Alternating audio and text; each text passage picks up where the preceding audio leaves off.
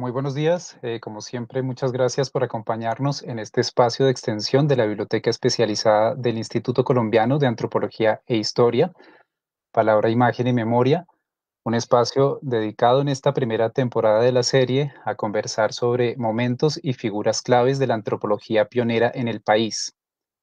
En este octavo programa, para hablar de la significación de la vida y obra de Virginia Gutiérrez de Pineda, tenemos el gusto y la alegría de contar con la presencia de una de las personas más cercanas en lo profesional y en lo personal, a Virginia Gutiérrez y a Roberto Pineda Giraldo, Ligia Echeverry Ángel. Bienvenida Ligia, muchísimas gracias por aceptar esta invitación. Muchas gracias, Oscar, muchas gracias, muy complacida de estar con ustedes. Qué bueno tenerte acá, eh, Ligia. Personalmente, eh, para preparar este programa he hecho un doble ejercicio y hasta triple ejercicio de lectura. Lo he intentado. Eh, por un lado, la obra de Virginia Gutiérrez de Pineda, de Roberto Pineda Giraldo, y por otro lado, la obra de Ligia Echeverry. no puedo decir que lo haya completado en su más mínima parte. Ha sido un, un primer intento bastante recomendable para, para quienes quieran detenerse y hacerlo con tiempo. Eh, también ayuda bastante consultar lo que se ha publicado y dialogado sobre Virginia Gutiérrez de Pineda y Roberto Pineda Giraldo. Eh, también en este sentido, pues hay que señalar que eh, Ligia es una de las de los referentes principales en, en, cuanto a la reconstrucción de la vida y obra de estas dos figuras, especialmente de Virginia Gutiérrez de Pineda. de todo esto, si es que se puede hablar de, de, un balance, sería, pues digamos, un balance muy preliminar puede uno extraer eh, la enorme vigencia que tiene el trabajo de Virginia Gutiérrez de Pineda, sobre todo en el terreno ampliado de las ciencias sociales, eh, de la sociología, como nos demuestra la trayectoria de Ligia, eh, pero también de la historia, del trabajo social. curiosamente, pues dicen las malas lenguas que no tanto hoy en día dentro de los antropólogos, aunque pues esperaría que de pronto aquí dentro del público haya gente que que me, refute, ¿no? Eh, y es una vigencia directamente relacionada con las problemáticas de estudio que atañen al hecho, pues digamos, de nacer, crecer, eh, reproducirse, como dicen acá, hacer plata, estudiar, gozar y morir en este país, ¿ah? con la óptica pues de la familia, del género, eh, de la sexualidad, del derecho, de la infancia, la juventud, la vejez, ¿no? Y cómo se articula todo esto en unos conglomerados, pues que llamamos, eh, digamos, a grandes rasgos sociedad, cultura, ¿no? y la historia, que eh, en cierto modo sufren como la fragmentación de determinadas posiciones ideológicas a las que, pues, a veces eh, la gente considera, pues, necesario como aferrarse. al preparar la semblanza sobre Ligia, pues, me di cuenta que también su hoja de vida puede ser como el eje de la conversación. Así que yo creo que más bien arranquemos por este lado. Quisiera eh, empezar preguntándole, eh, bueno, hay un primer dato y es que Ligia es estudiante de la primera corte de la Facultad de Sociología de la Universidad Nacional, fundada por Orlando Falsborda y por Camilo Torres Restrepo, en el que Virginia Gutiérrez de Pineda tenía también, era como este tercer elemento eh, súper destacado. Eh, y tengo entendido que es en este contexto en el que Ligia conoce a Virginia Gutiérrez de Pineda y a Roberto Pineda Giraldo. Entonces quisiera que Ligia nos contaras un poco cómo fue esa experiencia de, conocerlos a ellos en ese contexto. Bueno, ellos todos venían de la, del Instituto Etnológico Nacional y, y venían antropólogos, sociólogos, y, todos ellos eh, habían estado bajo la égida de Socarrás, que era un psicoanalista muy importante del siglo pasado, y allí estaba lo más granado de las ciencias sociales en el país. Este fue un experimento que surgió eh, básicamente con los inmigrantes que venían de Europa, de España, de Alemania, en, en las entreguerras y en las posguerras, y bajo la égida de, de quisieron, eh, se dieron cuenta que este país no solamente necesitaba técnicos y tecnólogos, sino gente que pudiera pensar el país, planear el país y mirarlo desde una perspectiva de integración. Por esa razón, entonces, eh, se abrió una escuela, que fue la Escuela Normal Superior, donde la gente se estaba formando para ser los maestros y pedagogos. Entonces, ellos hacían un, un estudio allí y luego entraban como en una especie de especialidad. Salía enólogos, antropólogos, eh, geógrafos, historiadores, filósofos, entonces Jaime Jaramillo Uribe, Luis Duque Gómez, que fue director del ICARI, el del Banco de la República, eh, estaba, mm, estaba Chávez, Mircea Chávez, estaba Roberto, estaba Virginia, eh, bueno, el Darío Mesa, que es muy importante en las ciencias sociales. Todos estos personajes eh, conocieron a dos jóvenes que venían, el uno de Estados Unidos y el otro de Bélgica, sociólogos recién graduados, con toda esta idea, la, europea y la, la, norteamericana de la sociología, y que armaron la primera facultad de sociología. Pero como los únicos colombianos que había en ciencias sociales eran estos que han salido de la escuela normal Luego habían ido a Alemania, habían ido a Estados Unidos, digamos, los Pineda se fueron para Berkeley, eh, Darío Mesa se fue para Alemania, el otro se fue para Francia. Entonces, cuando regresaron y está este capullito de facultad, pues los llaman porque son de ciencias sociales. Mientras la universidad consigue traer que los primeros sociólogos realmente que llevó como profesores venían era de Estados Unidos, de Francia, de, Inglaterra, de Bélgica, porque aquí no había sociólogos. Desde entonces los que fungían como sociólogos eran los abogados. Ciencias sociales de nuevo. Eran los abogados que eran muy famosos en aquel entonces, dentro de los cuales también había uno que se llamaba Eduardo Mañaluna, que era, ese era el sociólogo de los abogados colombianos. También lo integraron a este equipo en ese equipo que era multidisciplinar, eh, multiconocimiento, Ernesto Gull, imagínate, eh, Jaime Jaramillo, historiador, todas estas gentes fueron parte de ese proyecto y luego ellos a su vez fueron los que crearon el programa de geografía de la Nacional, el programa de historia de la Nacional, la mujer de FAS creó el programa de trabajo social de la Nacional. Es decir, las ciencias sociales les agradecen a este, a este semillero esa, esa posibilidad de tener sociólogos, antropólogos, eh, historiadores, psicólogos, pero no, los psicólogos venían de otro ramo. Bueno, ahorita yo creo que vamos a retomar más adelante como para no perder el hilo de la historia de Virginia Gutiérrez de Pineda, entonces volvámonos como a los inicios de Virginia como pionera en los años 40, o sea, recién salida de la, de la Escuela Normal Superior y del Instituto Tecnológico Nacional con Roberto Pineda. Eh, y bueno, y antes, ¿no? También para pensar un poco de, de, dónde viene, ¿no? De dónde surgió ella también. Ya, ya, ya. Pues Uno podría decir que Virginia tiene varias familias. La primera era la de origen, la de sus papás sus padres, ella nació en, una, en una vereda de, de Barichada, estuvimos ahí el año pasado con un grupo de la Nacional, con Teresa Gómez de Mantilla, que era la vicerrectora académica, estuvimos allí con Yolanda Puyana, con eh, Magdalena León, eh, precisamente recorriendo un poco los pasos por la, por la, por la vida en, su niñez y juventud de Virginia. Eh, ella tuvo 11 hermanos, y eh, santanderianos, como ustedes se pueden imaginar, fuertes, de una disciplina férrea. El padre, sin embargo, fue muy diferente con Virginia. Entonces, desde muy chiquita, la, la, trataba y le decía, ella va a ser mi científica, mi científica, porque los juegos de Virginia, saliendo de la finca, de la casita, eran en la tierra, mirando a las hormigas cargar las hojitas, observando, observando, observando todo.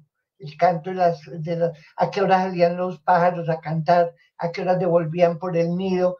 Todo eso, eh, que es la primera, la curiosidad por una parte y luego la sistematicidad para observar los hechos en, en, una niña, que era pues, eso era muy raro porque los niños jugaban a las, a las muñecas o a las ollitas o a cocinar. Bueno, y cuando ella eh, quiso eh, estudiar y, y, se ganó una beca para ir a Bogotá, cualquier otro papá, cualquier otra familia eh, santanderiana tal vez eh, hubiera puesto mucho remilgo para, para tal efecto, pero no, lo, el papá le pareció que era muy buena oportunidad y que Virginia era una persona suficientemente formada para ser capaz de afrontar los retos de venirse a vivir sola a la capital de la República. Y estando aquí, terminó su normal y luego, obviamente, viene, eh, ella venía del colegio a terminar en la normal y resulta que la normal entra en, este posgrado que maneja, en este pues universitario que maneja um, que te cuento, y entra y ahí conoce a Roberto. Luego Roberto Virginia se conocen desde el primer día de universidad, pero yo te dije muchas cosas buenas de la Escuela Normal Superior, se me olvidó decirte que era, eh, ¿cómo llaman? Eh, donde podían ir niños y niñas. Eh, Mixta, claro. Mixta, por favor. La, la coeducación que llamaban. Exactamente. Que no tenía muy buena prensa en la época. Cosa que en este país no existía, ¿no? E, era que creo que eran muy pocos los, las escuelas, los colegios, las universidades que podían tener esto. Obviamente, mm, Virginia y Roberto fueron entonces compañeros, amigos, y la antropología, tú que estudiaste antropología, sabes que la mitad del tiempo es vaya y mire la realidad qué es lo que ocurre para que usted pueda decir algo. Entonces el trabajo de campo era importantísimo. Y obviamente el trabajo de campo en esa época, las mujeres que estaban estudiando eran Blanca Ochoa de Molina, que era que luego fue directora de antropología en la Nacional, esposa de Gerardo Molina, Blanquita Yolanda Mora de Jaramillo, la esposa de Jaime Jaramillo, y Virginia eh, de Pineda, la esposa de Roberto. Entonces te vas imaginando pues que había que hacer los, los grupos mixtos para irse a trabajo de campo. Los trabajos de campo en esa época eran mucho, básicamente eran en la selva. Entonces, esa primera etapa que tú preguntas, eh, los padres no tuvieron ninguna objeción, que se fueran, porque ellos, la verdad, no era que iban a convivir, sino a compartir el trabajo de campo. Era una relación en aquel entonces muy respetuosa de hombres y mujeres, pero sin ningún misterio tampoco, ¿me entiendes? Entonces iban a estas comunidades donde les tocaba dormir al aire libre, dormir en una hamaca, tú sabes cómo es y cómo sería en aquel entonces las comunidades, sobre todo en el Chocó, que fueron muchas de las experiencias que ellos tuvieron. Em, eso, digamos, en, ese conocimiento de Roberto y Virginia. Luego termina, digamos, la formación. Ellos terminan eh, la carrera y deciden casarse. Y se casan y obviamente era un matrimonio socioprofesional.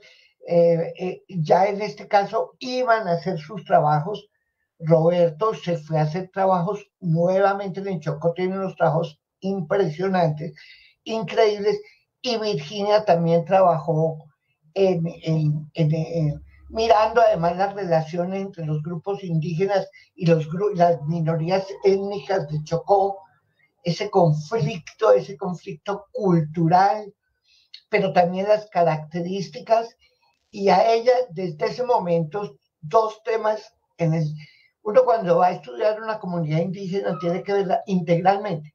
Sin embargo, hay temas que le llaman más la atención. A ella le llamaron mucho la atención dos temas. la parte médica, el curanderismo, el chamanismo y todo lo que tenía que ver con la salud y también la forma en que estaba organizada la familia, las familias, cómo eran las familias. Y luego las dos relaciones también.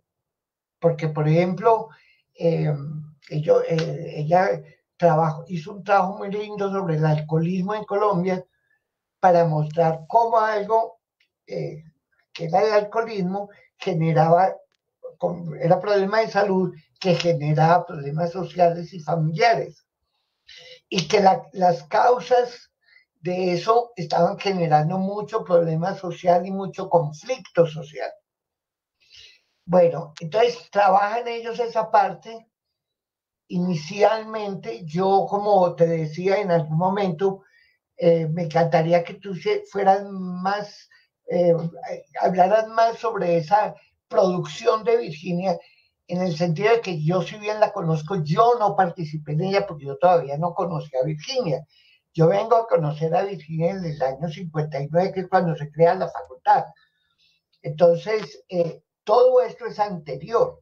Ella estudia, tiene sus hijos, eh, cuatro hijos y, sigue trabajando con Roberto en estos, en estos temas.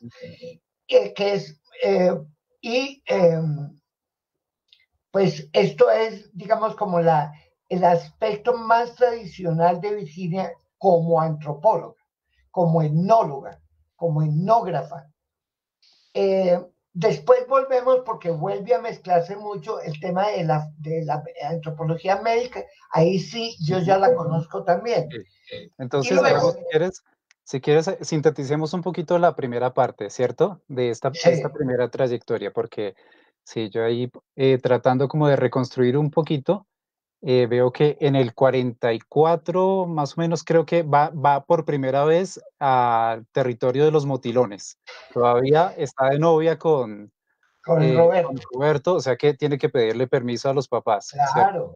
Eso es, eh, y de, de, allí, bueno, de allí es interesante también ver que las, los, las primeras publicaciones de esta primera etapa las hace Roberto Pineda Giraldo aunque ellos todo el tiempo se reconocen que es con la ayuda del otro, que los datos, es chistoso porque los dos publican, por ejemplo, en el 50 eh, sobre el viaje a, La Guajira, ¿no?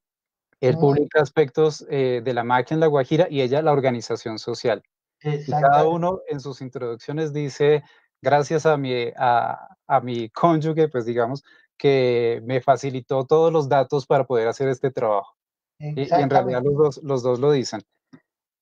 Bueno, en el, 40 y, en el 45 es, es chistoso porque ella figura por allí en la historia institucional como que empieza a trabajar con el museo, el Museo Arqueológico Nacional, que, que uno piensa, bueno, ¿será que entonces allí hay una cuestión también de género, de, digamos, al interior de la antropología, porque eh, así como se dice que las, ciencias humanas son como la parte femenina respecto a las ciencias duras, también la parte de la museografía es la parte femenina respecto a toda la recolección eh, etnográfica. Hay un trabajo interesante al respecto eh, de mm, Marcela Echeverry, que publicó sobre este proceso de definición de género al interior de la antropología y mira un poco las diferencias como lo que sucedió con Edith Jiménez, con Blanca Ochoa, que hasta cierto punto ellas permanecían todavía solteras, entonces como que esto las obligaba a quedarse muy resguardadas en el ámbito del museo, con toda su importancia de la clasificación arqueológica de las culturas, y eh, Alicia Duzán y Virginia Gutiérrez, que sí tenían, digamos, pues inicialmente no, ¿no? Porque pues en el, el el territorio de los motilones estaban de novios, pero ya en el 47 cuando van a La Guajira ya están casados. Ah. Sí. Entonces, la primera publicación de Virginia es eh, Organización Social en La Guajira, que se publica en el 50. Entonces decía, es interesante ver, bueno, hasta, hasta qué punto se relaciona también esta obra. Obviamente tiene una, toda la relación y es, es muy clara con, con el trabajo posterior tanto sobre medicina como sobre familia, pero también para ver un poquito cuál es la relación con las publicaciones de, Roberto Pineda Giraldo, ¿no? Entonces él, publica, por ejemplo, Los Motilones, en que habla un poco de, de, las guerras eh, al interior de, digamos, entre, entre distintas eh, facciones, digamos, claniles, pero también con el tema de la colonización. Y aquí es interesante también, después en el 47 él publica Colonización e Inmigración y el problema indígena, en que habla sobre mm, un poco que muestra, eh, esto, estas son obras que van mostrando el proceso de regionalización, ¿no? Cómo la, antropología también se interesa por hacer como mapear todas estas, eh, estos procesos de colonización que, que, se están dando en distintas partes del país y que tienen que ver pues con todo el proceso de, de miscigenación que después van a ellos a, hablar eh, en su obra ya tardía. Em, también trabaja, eh, bueno, el informe preliminar, sobre aspectos sociales y económicos que se publica un poquito antes de estas obras como más monográficas, en las que muestra pues toda la situación, eh, digamos, eh, socioeconómica y cultural también con el problema, yo creo que son problemas que se van a, expresar muy bien en los trabajos posteriores, por ejemplo, sobre la mortalidad infantil, que ahorita tú nos vas a, comentar un poco más. Y de pronto agregaría yo eh, también los trabajos sobre folclore y etnología, en los que Roberto Pineda también tiene como una, mm, digamos, una incidencia muy fuerte. Y allí pues también es interesante abordarlo porque eh, muestra, mm, e, él, se, hace, se hace varias preguntas allí interesantes. Una, por ejemplo, que hay una, como una copla que dice el, el hijo de mi hijo mi nieto será. El hijo, de, el hijo de mi hija, mi nieto será. El, hijo, de mi hijo, en, duda, estará. Exacto. Entonces él dice, bueno, esto puede ser algo de picardía, pero también puede ser que haya algo de, de, la, de esta cuestión matrilineal, como de una supervivencia también de, de la herencia indígena. Entonces, bueno, son temas que, que, van a estar como muy relacionados entre los dos, que se van a compartir eh, y bueno, llegamos como a 1950. Yo pues no me atrevo como a, profundizar mucho en los trabajos, son trabajos que vale la pena leer, que me parece que siguen siendo muy vigentes, que hasta cierto punto eh, le sacan a uno como de el, el prejuicio de lo que es eh, la etnografía, ¿no? Como de todo lo, digamos, simplemente bonito, pero sí es, sigue siendo fascinante o sea, conocer la situación de, las culturas indígenas como ellos se propusieron en ese momento, pues es un desafío y pues es un aporte grandísimo para, para lo que era en ese momento el conocimiento sobre tanto de la diferencia, ¿no? Sobre la diversidad, eh, como sobre, digamos, lo que desafía al pensamiento pues muy centrado dentro de la cultura del matrimonio católico, de la religión y todo esto. Entonces, bueno, allí llegamos, se, podría, podríamos seguir hablando de todas las obras de, Roberto Pineda, pero podemos como irlo contrastando en la medida en que avanzamos. Entonces, en los años 50 eh, está este planteamiento sobre la antropología médica. Y bueno, pues yo he estado revisando un poquito, me, me gustó mucho como el planteamiento que hace Virginia del problema porque pues inicialmente es como una cuestión de cómo eh, los campesinos eh, tienen una especie de miedo atávico hacia los médicos, es como una cosa, un temor reverencial hacia el médico. Entonces, en este contexto de crear unas políticas eh, de, salud, por ejemplo, de, de, que arraiguen, que tengan cierta, cierto éxito, pues es muy difícil frente, digamos, a todo este pensamiento mágico que hay y, em, sobre, sobre la enfermedad y sobre em, el papel de los médicos, ¿no? Ahí está, por ejemplo, en aspectos de la Guajira, pues el, trabajo de Roberto Pineda, que está muy centrado en la figura del piache, ¿no? Y que de todos modos eh, ellos dicen, insisten, hacen mucha, tienen mucha insistencia en decir, es este, em, estos remedios pues generan en realidad muchos más problemas, son, son peores pues que la enfermedad. Entonces, interesante, ¿cómo, cómo es este planteamiento de, de Virginia Gutiérrez? Tiene que ver también con su viaje a Estados Unidos, ¿no? Que se da después Tiene de... Que ver, e, ellos, ellos estaban trabajando en el Instituto de Antropología de aquel entonces, en la época del gobierno de Laureano Gómez. Hubo ahí un problema político como, sobre el cual no, no es el tema. Ellos eh, salieron del instituto y fue la oportunidad para la beca. Fue cuando consiguieron la beca y se fueron a estudiar.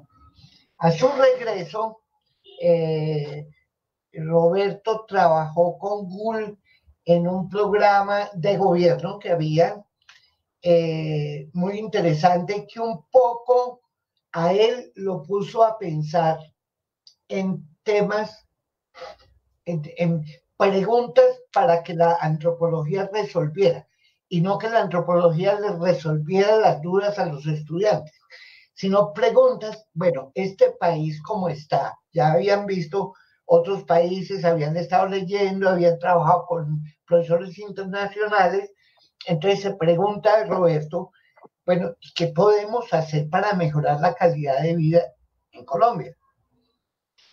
Estaba también, ya te digo, eh, Ernesto Gulta, que trabajaba con ellos, estaba Ernesto eh, eh, que era un español también que trabajaba ese tema, y estaba Virginia, y entonces Virginia comienza a trabajar en los archivos de Indias, porque quería saber si eso que hacían los indígenas era propio de ellos, parte de influencia española o cómo era.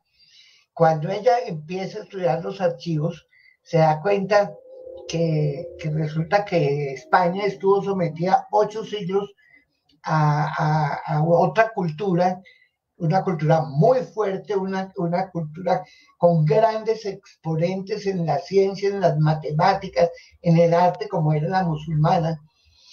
Entonces eh, empieza a ver la, medicina también en ellos y empieza a, darse cuenta de la cantidad de modalidades que hay en, en, medicina, en las formas de atender al paciente. Y entonces es que era la, la, medicina ayurvédica, la medicina tradicional, ¿cierto? La medicina científica. Y empieza a ver qué era lo de eso que más funcionaba. Y resulta que la parte psicológica, que ya también la habían tenido mucho con Socarrás, era muy importante, es decir, y todavía sigue siendo muy importante. Ante la integridad del cuerpo humano, pues cuando tú estás convencido de que si haces, te tomas eso, te vas a mejorar. Puede que te mejore mucho porque puede que la raíz del problema fuera psicológico o emocional más que psicológico. Entonces se encuentra Virginia que uno de los problemas que había con los médicos acá es que eran muy pocos, muy de elite y muy de un lenguaje que no tenía nada que ver con la gente que iba a contarle sus problemas. Ante esa situación, pues había una distancia. El campesino, el indígena que iba a un médico, pues el tipo estaba muy bien vestido, no tenía el computador ahora como lo tienen ahora, pero tenían pues el estilo y el estilógrafo escribían divino, eran los únicos que escribían bonito y enredado. Entonces, él, no, no, era capaz de manifestar ni siquiera cuál era la dolencia que tenía. Esa distancia empezó también a ser un punto de análisis de doña Virginia para ver cómo era en las comunidades, en las distintas comunidades indígenas y en las distintas comunidades negras. Espíritus, los, chamanes, los piaget, todo esto cómo era, y cómo eran las, las tomas o las, o las limpiezas o los eh, tratamientos que se hacían. Y de ahí, pues, tú sabes que en la medicina tradicional pues a los niños con nombre, para que no les den se les ponen, eh, les pegan ajos o les ponen cebollas o les, les hacen unas unturas y unos, unos masajes, muchos de los cuales No sé por qué y nadie lo sabe, pero funciona.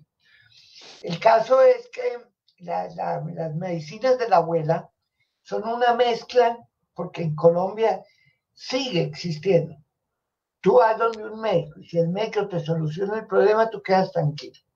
Pero si no, tú vas donde la curandera, la señora, el sobandero, tú, vas, eh, tú haces una, una manda, una promesa y vas a Monserrate de rodillas, tú tomas agua bendita, es decir, magia, eh, medicina eh, científica tradicional, te tomas la agua panela con el agua de panela con, con limón, haces todas esas cosas. Desde ese entonces ella empezó a diferenciar, fue la primera que empezó a mostrar todas estas modalidades, pero ya para responder una pregunta que empezó a hacer Roberto. ¿Y para qué sirve lo que aprendimos? ¿Cómo hacemos para que la, la gente viva mejor? Él mismo empezó a mirar que este país, cuéntate lo de la colonización, que fue un proceso de integración social y un proceso que marcó la historia de Colombia. ¿Ok? Entonces, eh, Roberto ya tenía la idea con, con Google, con Fornaguera, de la regionalización del país. El mejor geógrafo que era este decía, sí, porque es que el, clima de las plantas y el ecosistema viene hasta aquí, decía Gulle, caminándoselo. ¿No? Y entonces el otro, el otro decía, claro, y la manera de eh, la gente consume lo que produce, por eso los platos típicos. Pero bueno, ¿y la gente qué más hace? Entonces doña Virginia empezó las instituciones, como cuál, como la salud. Entonces comienza con el tema de institución y dice, bueno, ¿y cómo hacemos para que estos hallazgos que están en los libros de Virginia, que nosotros no estamos reseñando aquí libros, sino que vayan, invitando a que vayan a verlos, esos libros permiten ver cómo, mm, eh, aclarando los puntos, los médicos, la formación de médicos, lograra que ese médico estuviera más cercano del paciente, por lo tanto se mejorara la calidad de vida en Colombia. Uno de los médicos que más Virginia y que yo trabajé con él también se llamaba Ordóñez Plaga. El Plaga. Él también tenía un origen español y también fue ministro de salud y tiene mucha importancia porque era el ministro de salud cuando en otro momento que vamos a hablar después, eh, salud y familia dieron origen a, a, un plan muy importante que fue el Instituto Colombiano de Bienestar Familiar, sobre el cual hablamos más adelante para que veamos el papel de, estos, de esta gente del tema. Entonces, así como ellos empezaron institucionalizando, el, eh, mirando que la institución era importante, también Roberto empezó a darse cuenta que gran parte de la miseria, las enfermedades, y toda la gente era que no tenían una casa, vivían hacinados, vivían tuburializados. en ese entonces en Colombia no había ninguna política de vivienda vigente. Y él comienza a escribir sobre este tema. Y este tema le empieza a mostrar cómo las enfermedades, la pobreza, la indolencia, los conflictos entre las familias, eran por eso unos niños en unos barriales, eh, eh, eh, durmiendo todos juntos, una familia extensa durmiendo juntos, que había entonces, obviamente, había pues cantidades de problemas sexuales por las mismas condiciones de la vivienda.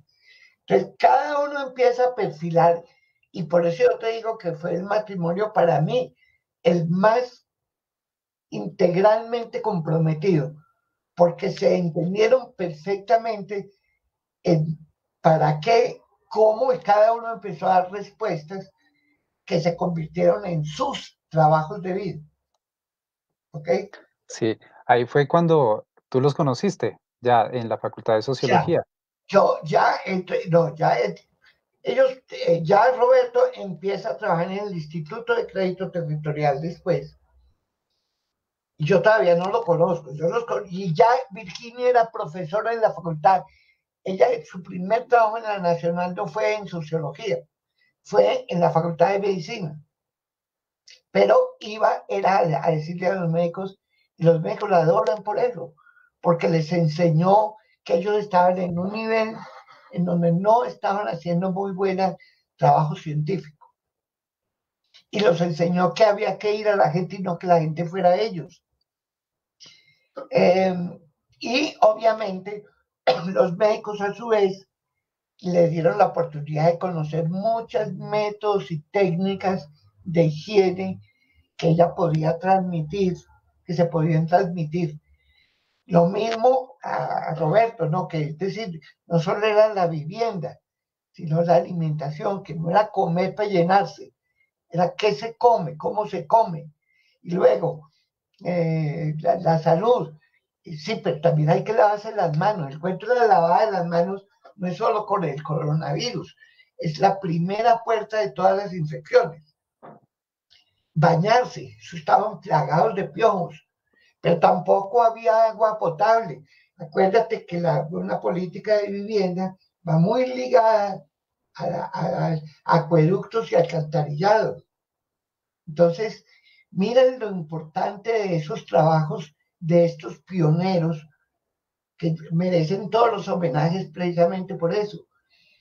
Que ya fundan la Facultad de Sociología, Roberto estaba en el instituto y Virginia estaba de profesora en, en medicina, pero investigando esa primera parte de archivos. Y entra entonces, la llaman a dictar, obviamente, una carrera que, una materia que no era familia. A Roberto tampoco lo mandan a hablar de familia. Lo mandan a, ellos fueron profesores nuestros en, la, en, la primera, en el primer momento sobre técnicas de investigación social, que lo mismo es para un sociólogo, para un para un em, geógrafo, o sea, que había que ir a archivos, que había que eh, hacer entrevistas, que había que hacer observaciones con fichas, que había que hacer trabajo de campo, que había que usar estadísticas, que había que tener unas hipótesis, todo ese tipo de cosas. Y Roberto, entonces, ya se le notaba como que también no era lo mismo ir a las comunidades indígenas que ir a, las comunidades eh, eh, digamos, urbanas como Bogotá, donde ahí los tugrios eran más asquerosos, porque era más la concentración de gente y más la pobreza.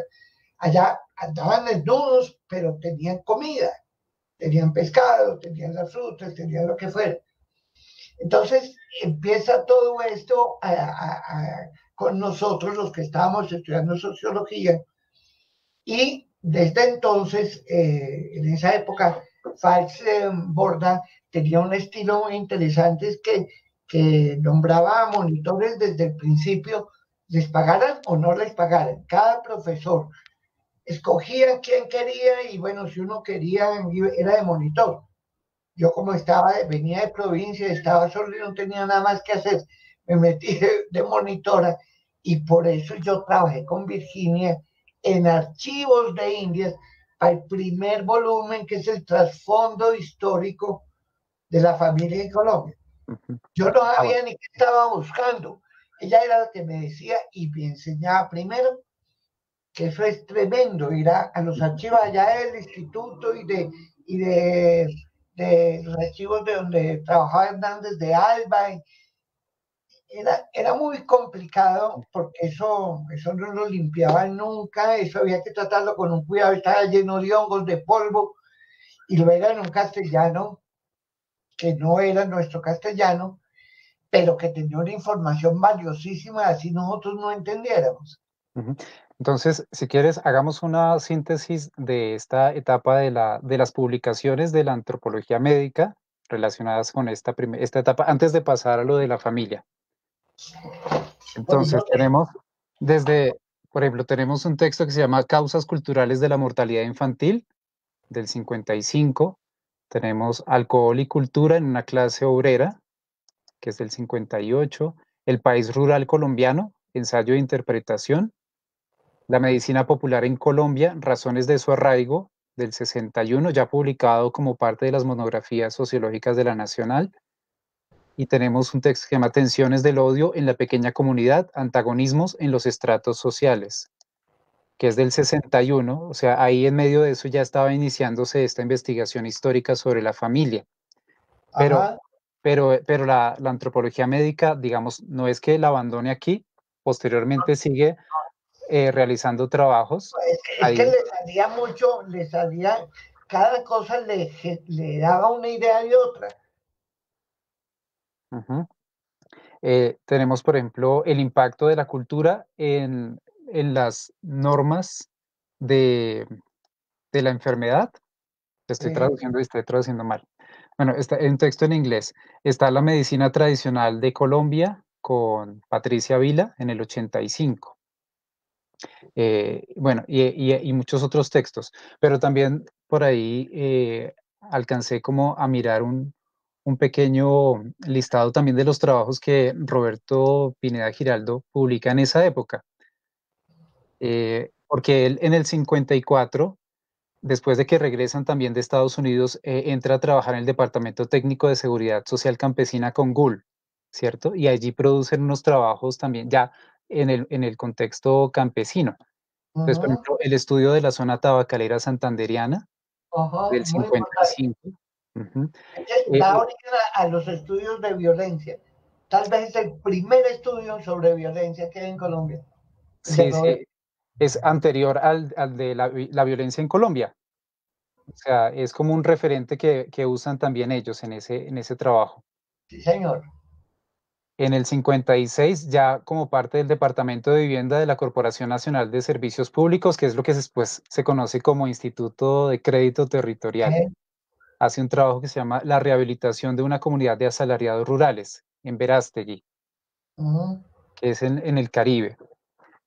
Y entra ya en el 57 como jefe de la Oficina de Planación del Instituto de Crédito Territorial. Exactamente. En el 60 publica El impacto de la violencia en el Tolima, que también se, a, se, anticipa al trabajo sobre la violencia. Oh, fueron pioneros, total. Uh -huh, sí. Y ya, por ejemplo, ahorita que mencionabas eh, el, el, tema de, de, de, los tugurios, un texto del 70 que se llama El inquilinato, causas e implicaciones. Uh -huh. Bueno, hay, hay una serie de trabajos, todo esto lo he tomado de el, la publicación que hizo eh, José Fernando. Sí. José Fernando Pineda eh, el hijo, el sociólogo. Bueno, esto era como para, para, para no eh, dejar pasar la oportunidad de, de, por lo menos de mencionar estos trabajos que son importantes dentro de esta etapa. Y ahora sí, entonces, hablemos sobre cómo es esa historia de la investigación sobre la familia en Colombia. Sí, entonces doña Virginia en medio de que acababan de venir de trabajar en las comunidades indígenas, el, el capítulo sobre organización en, en, la Guajira, social en la Guajira, le abre también la idea de, de, de, cómo era la organización social en Colombia. Y también como estaba estudiando archivos, ella los de España, ella fue y estuvo mirando archivos de indios y las, eh, ¿cómo llaman las? Um, todo lo que hay en las parroquias las parroquias de, de, de, ciertas zonas muy características como la de Santander, la de, la de Antioquia, la del Cauca, la de Tunja. Entonces ahí, y yo en, las universidades, en los archivos de las universidades y en los archivos de, en el ICANN y en el resguardo indígena y en todas estas partes, haciendo unas fichas donde varias entradas, esas fichas para, que, tú mires que ella ya en su cabeza, ella decía, vamos a mirar, miremos y lo que no estamos enfocados, pero dejémoslo en, abrámosle una carpeta. Entonces, digamos, er, eran varias, varias entradas que yo tenía para mirarme un archivo, por eso me demoraba tanto, porque en una misma hoja podía haber datos para vivienda, datos para salud, datos de nutrición, datos de familia y además eh, conflictos, porque ese era el otro tema, conflictos. Entonces, todo esto es, eh, iba uno haciendo unas fichas que luego le entregaba y em, ella después se iba y armaba el rompecabezas para armar el primer libro que llamó Trasfondo Histórico de la Familia en Colombia. En ese trasfondo histórico es muy interesante porque cuenta cómo era la familia en España antes de que vinieran los españoles y cómo esa miscegenación se hizo entre españoles y árabes. Luego, ¿qué fue lo que vino aquí? ¿Y cuándo vino aquí? ¿Y en qué condiciones vino aquí? Porque es que no se vinieron familias, como sí ocurrió en la colonización eh, inglesa a los Estados Unidos. Iban familias, no, aquí iban personas, hombres al principio. Solamente después de cierta época ya empezaron a traer familias. Eso sumado al trabajo que había hecho ya Roberto sobre colonización antioqueña en Colombia, que hay un excelente, Parsons hizo el mejor trabajo, de los mejores trabajos, y Marco Palacio también hizo un trabajo espectacular sobre la historia de Colombia para resaltar la colonización, pues muestran cómo eh, también esa colonización no se hizo con las familias, las familias se quedaban en el terruño, una tierra que yo te decía que había que sembrar con escopeta porque eran muy altas, no daba todo, eran sitios que se derrumban, se derrumbarán y seguirán derrumbándose todo el tiempo. Entonces, estos empiezan a buscar unos mejores sitios porque tenían unas familias muy grandes, gracias a toda esa influencia religiosa española, que es lo que, lo que destaca doña Virginia, toda la influencia religiosa la influencia cultural, la influencia en instituciones y luego nos preguntamos por qué las familias somos así. Somos porque tuvimos unas influencias. Entonces, si sumamos la colonización, eh, si sumamos lo que venía de la colonización española y luego le sumamos la colonización antioqueña, entendemos por qué hay unas características de esas familias que no son características iguales en otras regiones del país que no fueron sometidos a esos procesos de colonización. Bueno, entonces eh, Virginia muestra todo eso, toda la influencia, eh, un poco de la poliginia que ella llamaba, pues porque es que los árabes son poligínicos aprobados, ellos pueden tener cuatro o cinco mujeres las que puedan mantener pues eso mismo les parecía para muchos, ya que no está mi mujer, puedo tener en cada sitio una mujer. No, no, la una era la esposa y el resto era la que pues tenía en el momento para el resto de, de urgencias. No había control de la natalidad, luego era muy probable que con cada mujer tuviera un hijo. Y por esas razones el mestizaje. Entonces preguntan la historia, ¿por qué la colonización Mm, eh, inglesa, no hubo mestizaje, los blancos los mismos blancos que fueron de Irlanda y de, de, Nueva Gales y de todos esos sitios. No, allá arrasaban con los indígenas o los llevaban a un resguardo. Aquí se mezclaban con ellos, excepto en las zonas y regiones donde los indios no aceptaron, los caribes, bueno, esa es la otra historia, pero en la que hubo, digamos, como estaban un poco más civilizados, o sea, ya tenían grandes civilizaciones. Acuérdate que, en México, pero también en Perú, hasta bien el norte de, de Colombia, pues la civilización inca, era, ellos tenían una organización social. Entonces, era más fácil entrar a negociar, ya negociar entre los poderes, los españoles con ellos. Pero cuando el grupo no era, no había tenido una civilización floreciente, pues era como, como, en Estados Unidos, arrasados, ¿no? Entonces, de ahí surgen muchas características que no son solo de ellos, porque la poliginia de otras regiones del país no es solo por la poliginia española, es también por la africana posterior y también porque, porque en, otras, en otras comunidades hay otras, otras maneras de ver, de ver la organización social en cada una de estas, de estas, de estas eh, tribus o grupos étnicos o clanes o lo que sea. Entonces, doña Virginia empieza en este trasfondo histórico, dar los primeros pasos de la familia diciendo, pues, proceso ese de colonización fue regional, no fue igualito. No fue que todos los españoles llegaran al mismo tiempo, a la misma vez, a todos los rincones de Colombia. No, fueron distintos. Luego, en cada momento, fueron eh, eh, llevándole un modelo y un tipo de, digamos, de organización un poco diferente de la que ya se da en la, en la colonia, que, era donde ya estaban los que iban a estar antes, están a, eh, a, de que los sacaran de aquí. Entonces, es, es muy diferente el tema. Eso lo va viendo y eso es muy complejo, es de una complejidad que, que, pues doña Virginia y Arari son los únicos que son capaces de, de sintetizar esos procesos tan globales y tratarlos de hacer eh, digeribles, porque son muy complejos.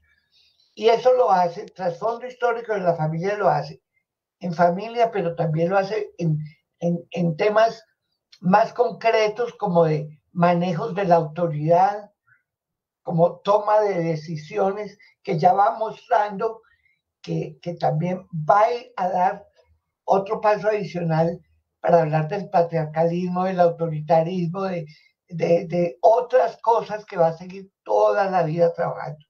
Ella siempre tenía cuatro o cinco temas en la cabeza. Este primer libro, Trasfondo, a mí me fascinó. Obviamente nosotros lo conocimos eh, yo personalmente lo conocí porque ella iba escribiendo y me decía, pero eso sí está de acuerdo con esa ficha chinita, chinita, eso está de acuerdo con la ficha. Y yo, eh, ay, no, yo no sé, yo no entiendo eso. La verdad, para mí era muy complejo porque ella tenía una capacidad y con los papelitos por todo lado era increíble. Pero entonces ya, ya no, porque ella no paraba una investigación mientras hacía otra. Si tú estás yendo a archivos, tú vas al archivo, pero el resto que no está en el archivo, pues tú no haces nada. Ella sí, ella investigaba.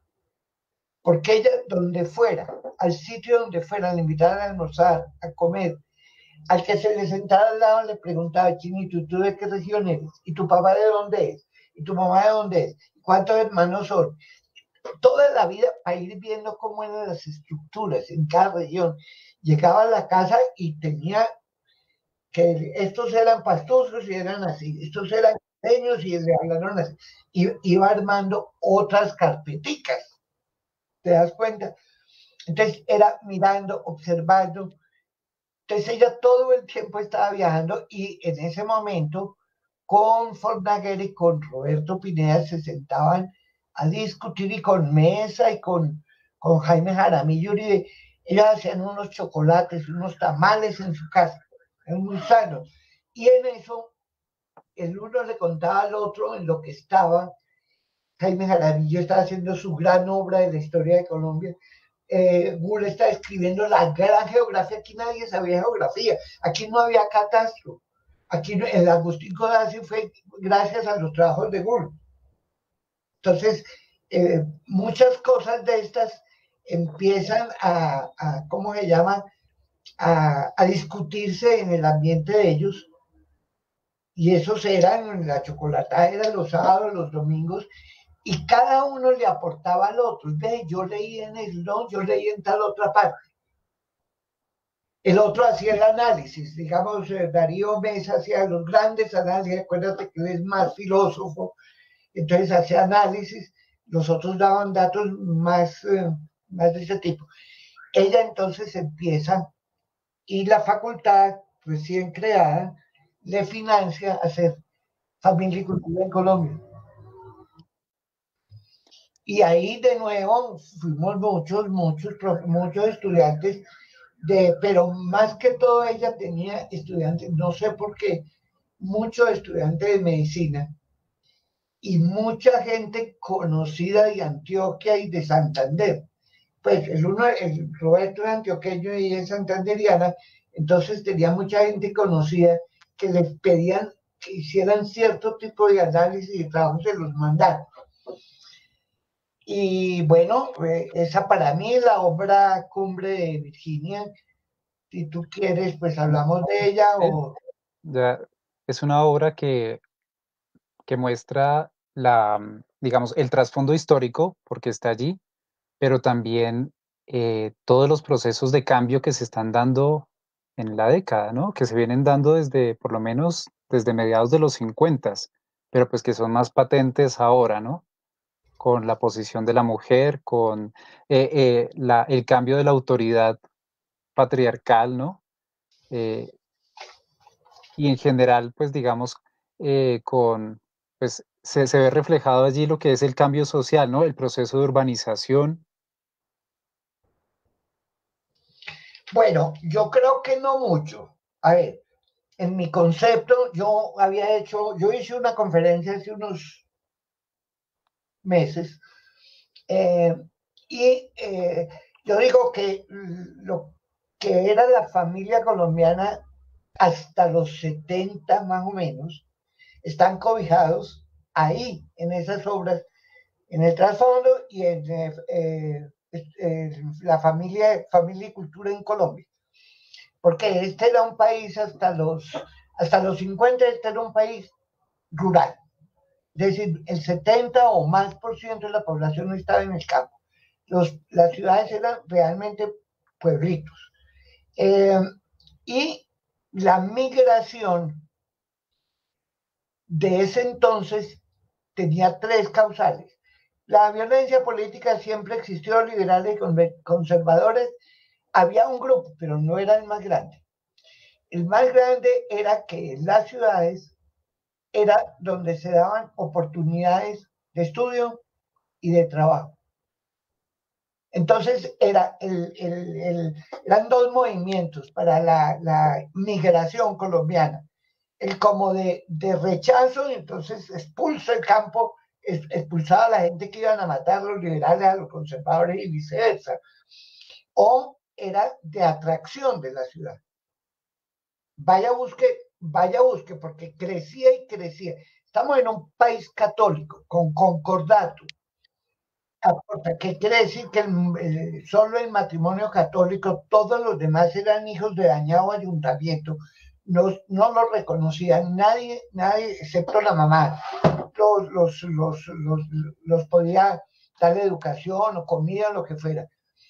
Y recuérdate que había todo este cuento de la colonización en donde hubo muchos sitios donde se llegaba a un pueblo para fundar un pueblo. Fue fundadora de pueblos con el tiple y con el hacha. Entonces con el tiple tocaban la guitarra, con el, con el hacha tumbaban el monte y luego una señora les cocinaba y acababa teniendo un niño de ellos. O sea, hubo, fue creciendo también un proceso de mestizaje étnico, cultural, porque esos niños, pues nada que ver, y llegaban luego cuando ya llevaban a, las, a la familia al sitio que ya era un pueblo, ya, ya, ya que hay una casa, ya que puedo mantenerte, esa era la señora con sus hijos, pero tenían hijos, 10, 15, 20, 25 hijos, y no te estoy diciendo mentiras, por lo menos en la zona de mi tierra, en ese entonces, en los años 50, mm, una familia de 21 hijos fue mi abuela, de un solo marido además. Entonces, uno dice, pues ¿cómo? Pues sí. Entonces eso hacía que la, mantener la familia fuera muy complejo, muy difícil. Y, y, y entonces, mira todo lo que se va formando ahí, ¿cierto? Todo este rollo que se va formando. Entonces viene la parte de la de la migración y se van. Se van a la ciudad buscando educación, que era lo primero. Yo, por ejemplo, fui una expulsada, toda mi familia empezaron uno, otro, otro, otro, todos para estudiar. Y luego uno estudia y uno no se devuelve. Y muchas veces cuando no les queda, si no es la familia dice, bueno, ya no quedan, si no nos vámonos de una vez, que ya están todos los demás. Esa era la realidad de la familia. Entonces ahí sí estaban muy caracterizados los complejos. Personas tan jóvenes como ustedes no hubieran podido, pues no, hay cosas que dicen, no, pero eso no es así, no, ahorita no es así, pero en una época lo fue. A mí me tocó mucho eso, cierto, pero yo ya tengo pues más décadas que ustedes. Entonces, esa fue un tipo de, de familia, que uno puede decir que era la familia tradicional, ¿cierto? Que había más familias extensas, casi no había familia nuclear. En todos los, con, todos los, los complejos culturales. Complejos culturales eh, era la familia extensa la que predominaba, ¿cierto? Eh, no, no la familia nuclear. Y era, esa era la razón, porque es que esas familias, y tenían unas tierras, y entonces vivían era de las tierras. Se iba a casar uno, le dan un pedacito. Ese es el minifundio.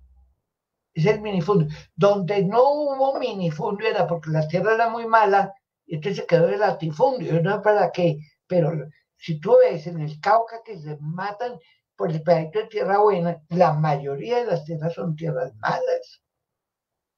Entonces, ahí pues no importa que haya latifundio. Y las otras que nunca se colonizaron, que son las, las baldías, que esas están más que todo en lo que entonces se llamaban intendencias y comisarías.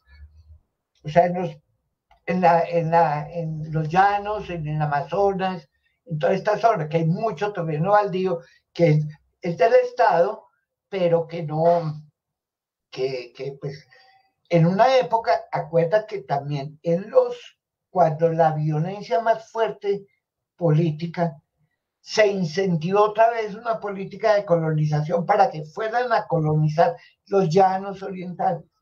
Y fue la gran matanza de los indios. Yo creo que ustedes lo recuerdan bien. ¿Ok? Bueno, esa, esa, en, el sentido de que ellos llegaron a, coger terrenos baldíos que el Estado les decía que podían utilizar, pero que ya estaban ocupados por comunidades que ni el Estado sabía que existían. En unos casos, en otros que en el proceso pues las iban, las habían, las habían eh, apropiado. Ese es un momento. Después viene las cosas siguen cambiando y Virginia se da cuenta que están cambiando, pero es que entre que uno se da cuenta que eso cambió mucho, que hacen la investigación y que el libro sale publicado, pues pasa bastante. En los años 70 llevamos mucho tiempo trabajando, que la familia había cambiado, que ya, pues había muchas cosas que sí, pero otras que no. Llevamos mucho cuando ella dice, eh, no, cuando ella no, eh, la Universidad de Notre Dame en Estados Unidos eh, dice que el tema de la familia es muy importante en todas partes y que por tanto ellos van a financiar una investigación transnacional Estados Unidos, Brasil, México, Colombia, pero que tiene que ser con la misma metodología. Yo entro ya como egresada, posgraduada, con especializaciones, yo entro en ese combo a trabajar con doña Virginia como subdirectora de ese proyecto que lo que tocaba primero que hacer era armar el proyecto, irlo a discutir a Estados Unidos con, con Brasil, con México y con Estados Unidos y que todos estuviéramos de acuerdo con la metodología y luego arrancar el proyecto. Doña Virginia era la directora del proyecto, hicimos varios, varios, nos demoramos mucho en cuadrar la metodología para que pudiéramos comparar, cómo comparas entre un país y otro si no tienes unos parámetros iguales. Entonces, esa era una parte compleja. Porque Virginia había escrito el libro de familia y cultura, pero otros países no. Entonces no tenían como un punto de partida. Para nosotros era, era por lo menos fácil explicar que ya sabíamos cómo había sido la familia española que había venido, cómo había sido, qué había pasado, ¿ves? Pero ellos no. Entonces estuvimos, y un tipo que todavía vive, que es eh, increíble en la Universidad de Notre Dame, Donald Barrett, nos financió pues todo el trabajo que fue por todo el país, en donde participaron cantidades de personajes eh, sociólogos, antropólogos, Lucía Tarazona de Niño, Jaime Niño, no, Jaime Niño no, Armando Borrero, eh, Luis Guillermo Vasco, Carmen Zagallo, cantidades de gente trabajaba como encuestadores, porque esto fue por todo el país, y yo me iba con los grupos a, hacerle la, la, dirección a cada grupo, porque eran al tiempo, por todo el país, eran los grupos, eh, tuvimos que hacer una estrategia y una planificación en la que contribuyó mucho Roberto Pineda, que es el estratega y el planeador, ¿verdad? Que fue jefe de planeación, ¿ok? Y entonces, eh, a planear cómo era, porque la llegada era llegar a, a, pueblos, eh, unos chinos de la nacional, gente como que de esa época pues no estábamos tan bien vistos, entonces era que nos dieran permiso que nos contestaran, entonces carta para el cura, carta para el alcalde, presentaciones, ¿no? Es decir, todo una, una, una presentación muy, muy importante para que nos abrieran sus puertas y nos contaran las cosas. Y aquí ya viene el segundo trabajo que se llama Estructura, Función y Cambio de la Familia en Colombia.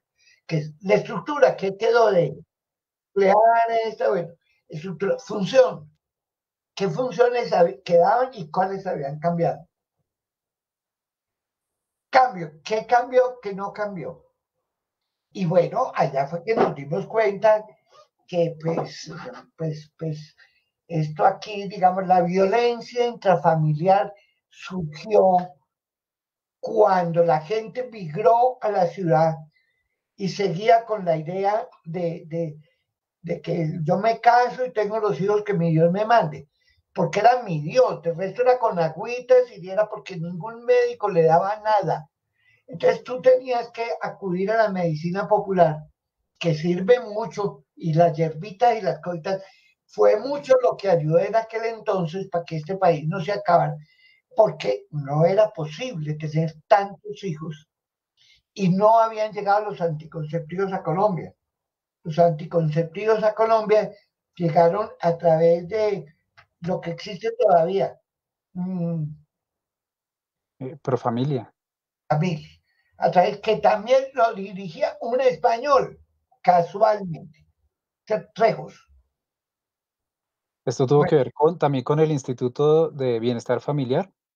Todo, no, todo esto tiene que ver después, sí, estamos en la cocinada del tema, pero todo esto te está mostrando, pero cuando llegan allá los daban, pero se les vino, ustedes saben cuando se le viene a uno todo el staff, el establecimiento, la iglesia, eh, la escuela, todo era un delito, como así que van a, ¿qué, es eso?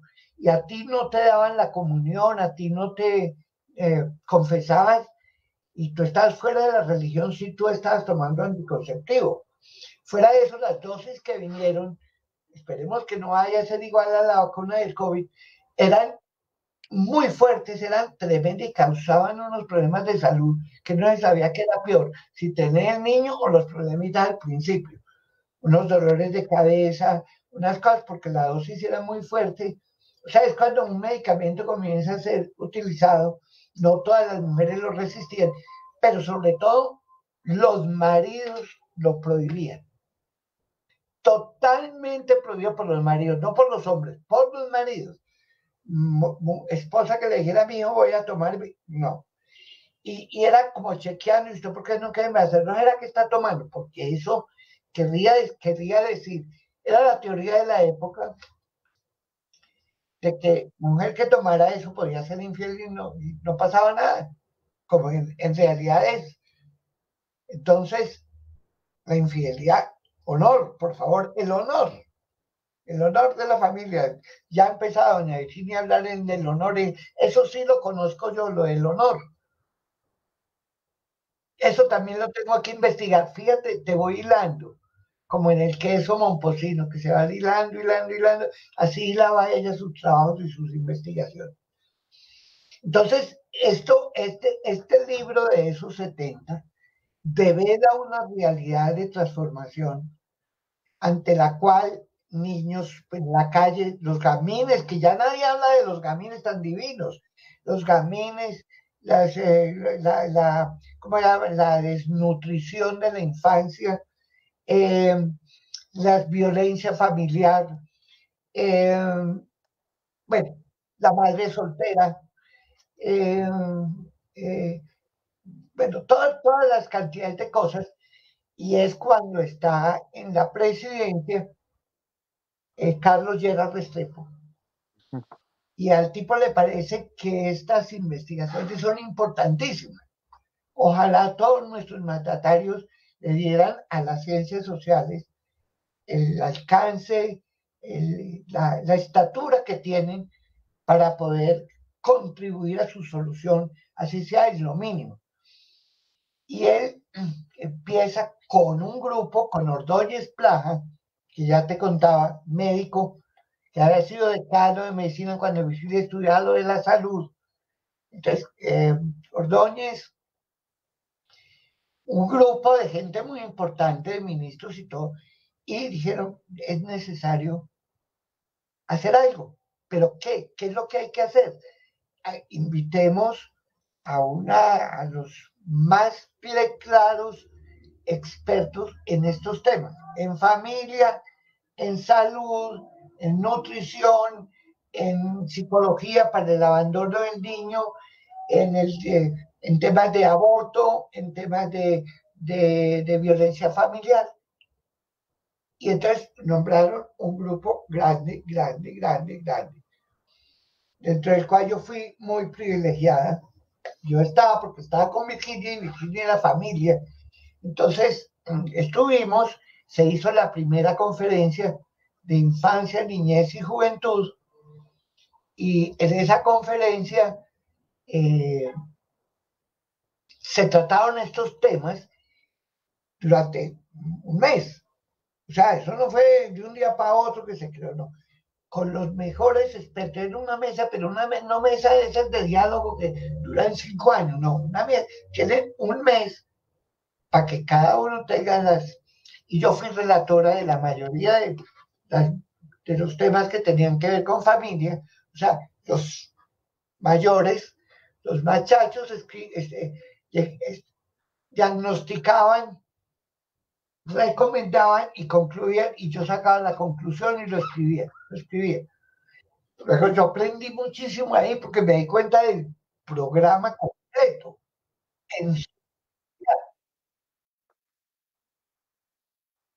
Entonces, eh, bueno, esta es la creación del instituto mm, que se crea pues por esa época. Yo exactamente no te puedo decir. Una cosa es el documento de creación y otra cosa es la conferencia para armarlo. Y doña Virginia aceptó la dirección porque dijo, no, ahora sí que tengo harto que investigar, no me va a alcanzar la vida. Y es cierto, no le alcanzó la vida. Una obra fue póstuma, tú lo sabes. Eh, entonces, eh, pues la verdad, ella, ella que era una persona súper de, súper, súper tranquila, ella no, yo creo que la condecoró todo el mundo, hasta el Papa vino a condecorarla, aquí la condecoró todo el mundo. Le dieron las mayores órdenes en el Congreso, pues porque la tarea de ella fue muy, muy especial. Mujer del Año, incluso antes de publicar Familia y Cultura. Claro, entonces mira, esto, esto estamos hablando de los años pues 68, 60 y pico, 70, no, exactamente no, te cuento que ese cambio fue aquí. Y luego la familia no se queda como la vimos en, en estructura funcional, sigue cambiando. Y obviamente en ese en ese cambio que yo empiezo a ver, veo que hay una beta, que es la parte de la ley, que es otra institución. Yo digo, pero siempre hablamos de, de que esto y que todo esto y que estas no están legales y que esto es ilegal y esto no es legal. ¿Y por qué no miramos un poco esa perspectiva? Me parece interesantísimo y me dijo, pues Chinita, es hora de que tú lo hagas.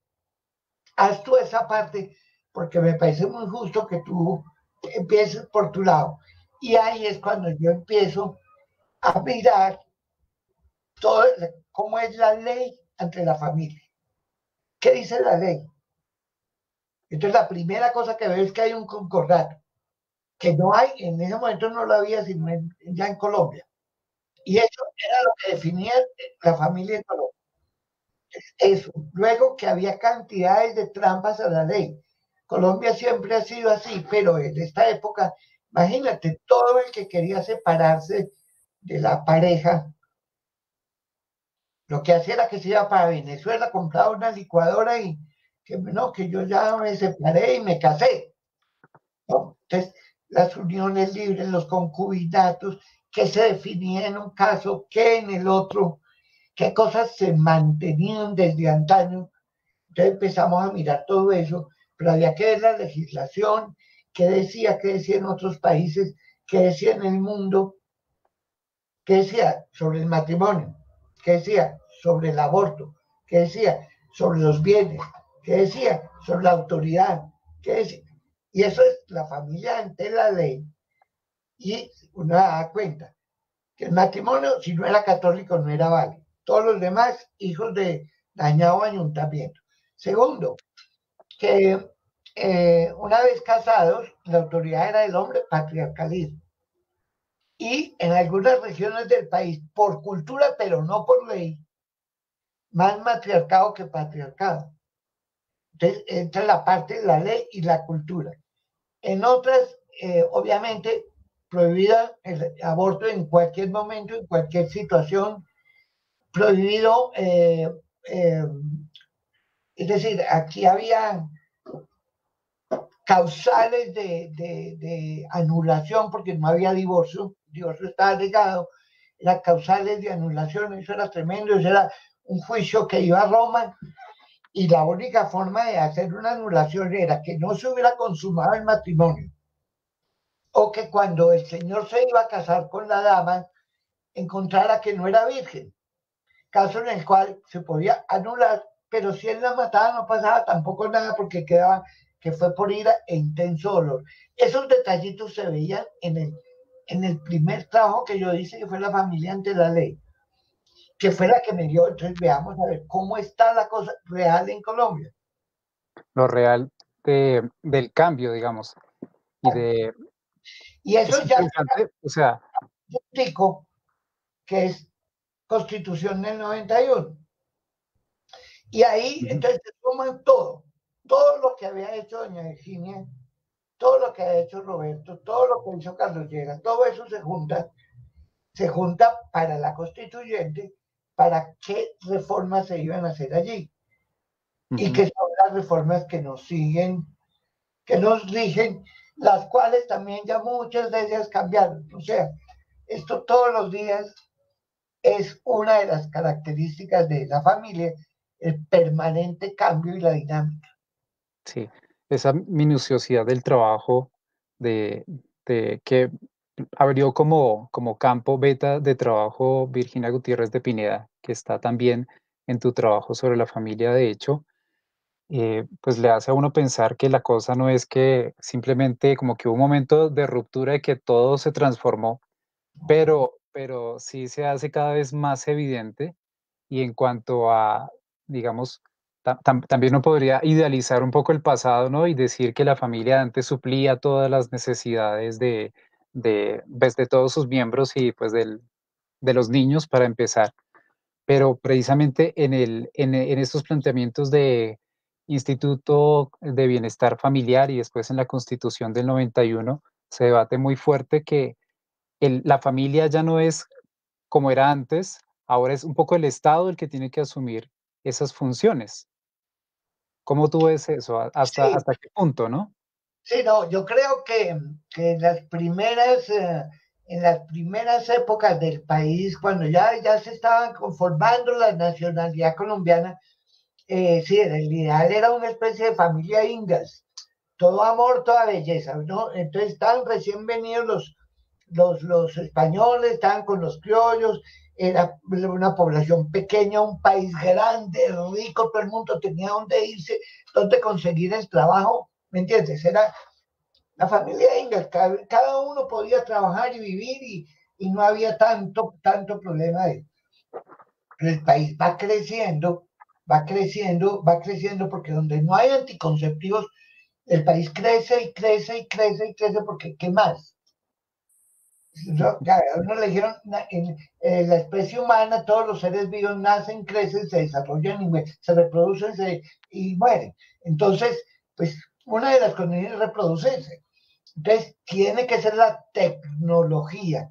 Y las tecnologías, no solo la anticoncepción, como le decimos en estructura, función y cambio, muchas otras cosas de la tecnología, el desarrollo económico, el desarrollo tecnológico transformó también la familia. Porque yo te voy a decir, la autoridad patriarcal y ese autoritarismo y ese papel siempre so, de la mujer era porque la mujer no tenía tiempo, pero de nada. Tenía los niños, varios niños, el alumno le estaba alimentando y estaba armando el almuerzo, estaba arreglando la casa, lavando la ropa, hizo cada vez más ropa, imagínate. Pero cuando se inventan la lavadora eléctrica, uy, yo digo, para mí eso es mejor que un marido. La lavadora, la, cuando se inventan la olla pitadora, cuando se inventan la aspiradora, uy, ese mugrero, no, terrible. Cuando, cuando, ¿qué te iba a decir? Encima de eso, ya después, cada vez más adelante, que la nevera, no se pudren las cosas, no se dañan las cosas. Es que nada de eso había. Entonces, cuando tú empiezas a tener todo esto, pues se transforma todo. ya los chicos comienzan a poder ayudar y colaborar. Y lo que te dije de Roberto, el gran planeador de, política de vivienda, que el lema era la vivienda es más que un techo. En la vivienda tú puedes diseñar una vivienda para mantener la familia integrada o para tener una familia desintegrada. ¿Por qué? Porque, porque si tú les permites ah, en el sitio que cada uno pueda eh, tener su espacio de libertad, su espacio de privacidad y sus espacios comunes, esa familia vive en paz.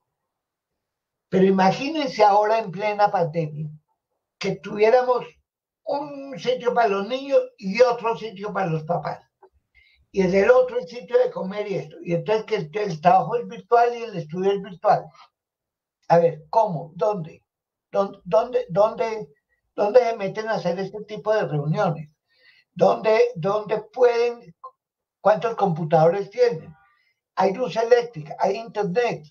Entonces, esas cosas, esas cosas entraron a cambiar también la familia.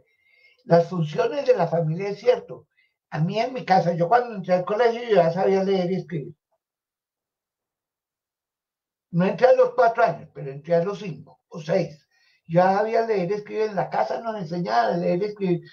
Eh, como no había televisión, eso es lo que nos haga planes, es la y ahora póngale la peala y sume, paga. Bueno, entonces uno en, el colegio, en el colegio uno iba y el colegio era cortico, generalmente era cerquita de la casa y uno iba a la casa a almorzar y se volvía para en el colegio a jugar porque tampoco era que jugara nada más, pero para que no estorbara, para que la mamá pudiera hacer el oficio. Hoy por hoy ustedes saben cómo es eso de los colegios, las rutas, los costos. Es otro mundo totalmente La casa era, el todavía sigue siendo así. Yo creo que la escuela informa y la casa forma pero hay muchas casas donde ni forman ni informan. Pero eh, las funciones era formar al hijo, formarlo en el trabajo. Cuéntate que los trabajos antes se le daban. El papá que era campesino le enseñaba al hijo, venga, vamos a arar, vamos a, a ordeñar. Y eso era lo que iba a hacer el futuro del niño. Y si era una niña, venga, ayuda a cocinar, a bordar, camine, trabajamos en la huerta, camine, trabajamos en artesanía. Entonces también le daban a uno la educación para el trabajo, era la universidad.